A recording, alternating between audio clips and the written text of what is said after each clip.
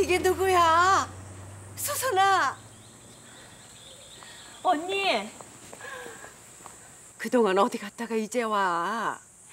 어머니가 네 걱정 얼마나 하셨는지 알아 이거사? 어머님 지금 어디 계세요? 빨리 뵙고 싶어요. 어디 아프신 데는 없죠? 잘 계시는 거죠?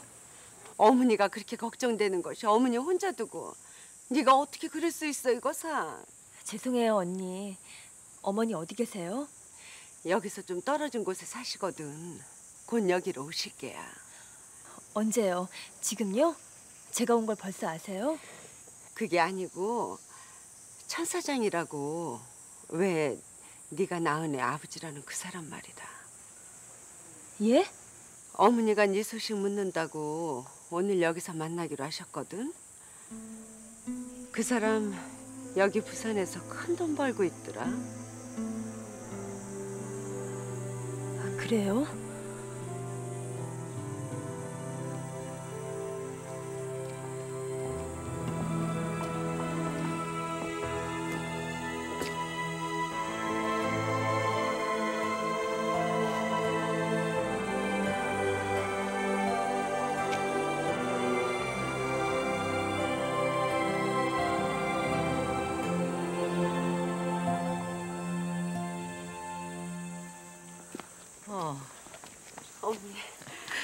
천 사장은 안에 있어요. 어머니 수선이가 왔어요. 소선이가 예. 아니 어디 있어? 지금 어디 있어? 천 사장과 함께 있습니다. 우연히 비슷한 시간에 앞서거니 뒤서거니 왔어요. 아, 이런 세상에 이런 우연이 있나? 어머니, 소선 언니 불러올까요? 놔두거라. 우리가 막을 인연이 아닌 게야.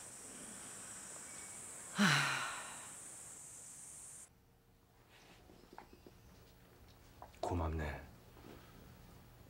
소선이 자네가 어머니를 정성껏 모셨다는 얘기를 들었네. 정말 고마워. 또 한 번 자네한테 큰 빚을 졌네. 그렇게 자책하지 말아요. 어머니가 돌아가신 건 가슴 아픈 일이지만 편안하게 정말 편안하게 돌아가셨어요.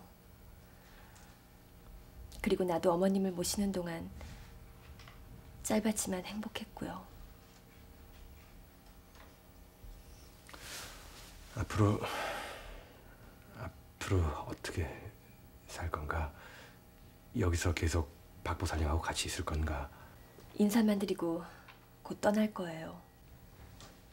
떠나? 아니 또 어디로? 왜? 그게 소리꾼의 팔자잖아요. 안 돼. 가지 마라.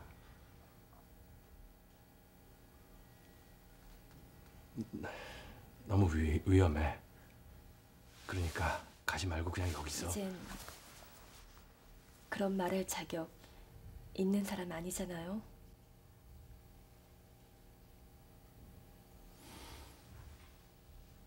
비난 가던 날 자네를 찾아 조선관에 왔었네.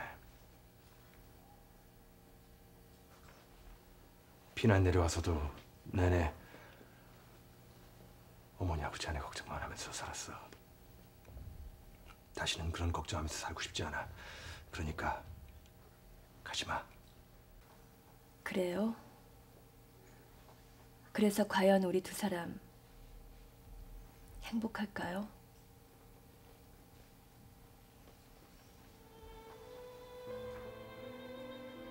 내가 떠나주는 게 일국 아버지를 위해서 좋을 거예요. 아니, 식구 모두를 위해서요.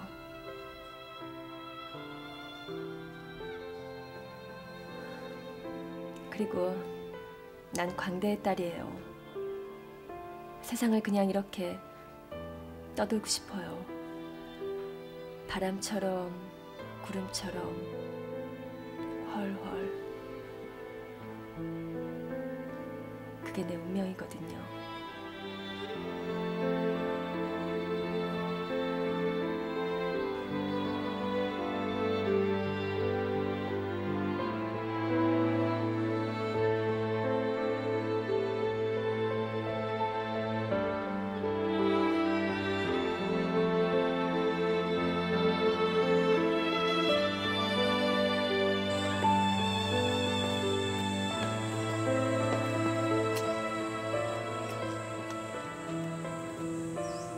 잘 가요. 일국이는 잘 있어. 소선이를 제 엄마로 알고 있더군.